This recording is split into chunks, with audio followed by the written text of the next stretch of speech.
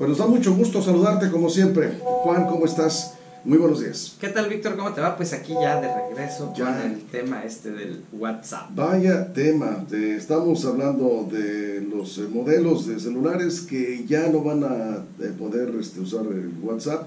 Desde, ¿A partir de cuándo? El último día que lo van a poder utilizar es el 31 de enero de 2020. Eso es.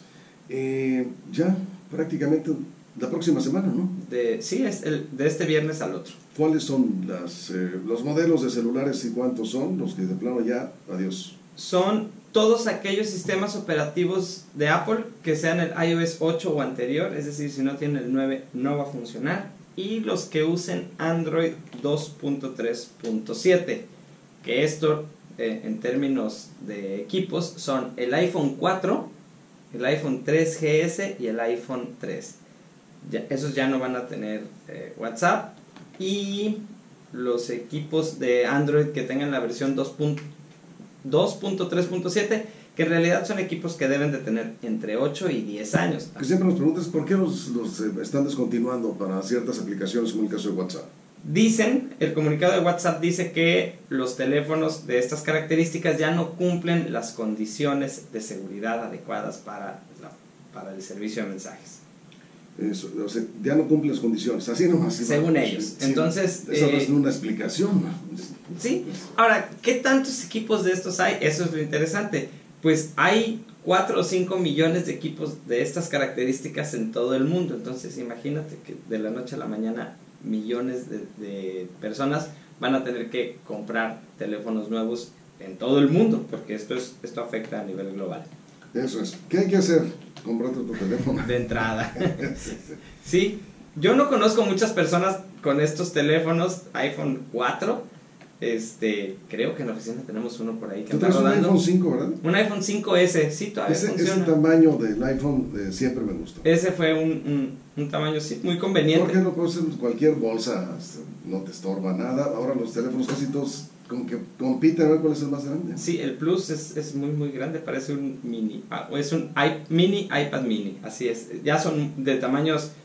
Ah, para las mujeres no hay tanto problema porque como tienen bolsas en la bolsa traen lo que sea, pues como quiera pueden traer una tele, digo un teléfono.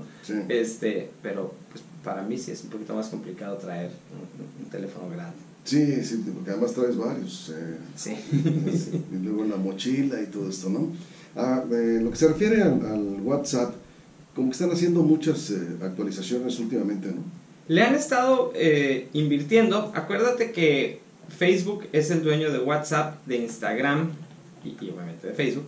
Entonces, tienen ahí, están planeando alguna integración. Pronto es muy probable que puedas publicar tus estados de WhatsApp, se puedan ir a tus historias de Instagram y a tus historias de, de Facebook. Lo, más probable es que en este año ya se logre esa integración, porque pues, esta misma plataforma lo tienen, casi estoy seguro que lo podrían tener hasta en los mismos servidores.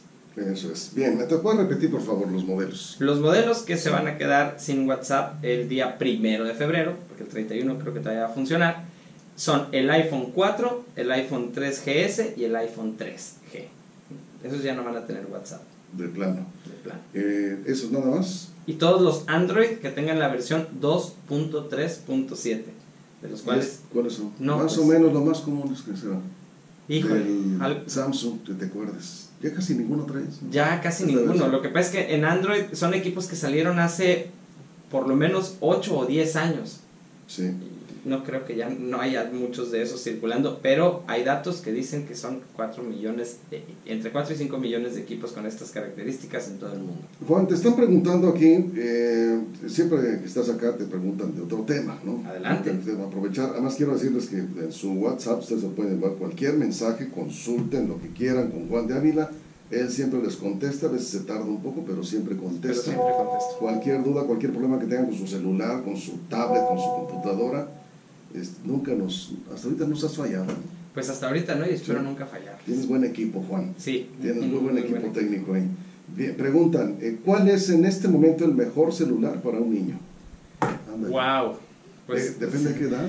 ¿Qué edad tiene el niño? Porque no puedes, los niños no deben de tener celular si no tienen menos de, o sea, más de 8 años, no deben de tener celular.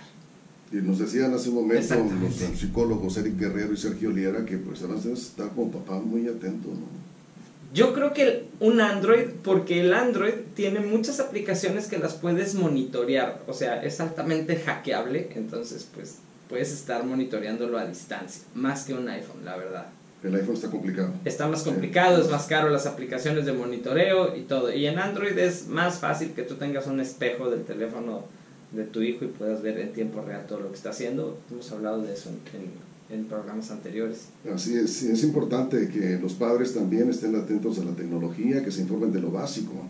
Eh, ¿Tú les puedes apoyar? ¿Alguna duda Con ahí? muchísimo gusto. Ah, me pueden mandar un mensaje al, déjame dar mi Sí. WhatsApp 6677967719 y yo gusto. 667796 7719. 7719, lo voy a repetir, es el WhatsApp. Apúntenlo porque de pronto hay una emergencia, los, los saca de un apuro, pero en serio aquí nos ha sacado de varios. Gracias. Juan de Ávila. 667796 7719. 19. Todo lo que tenga que ver, póngale ahí Juan de Ávila MX. Así es. es tecnología.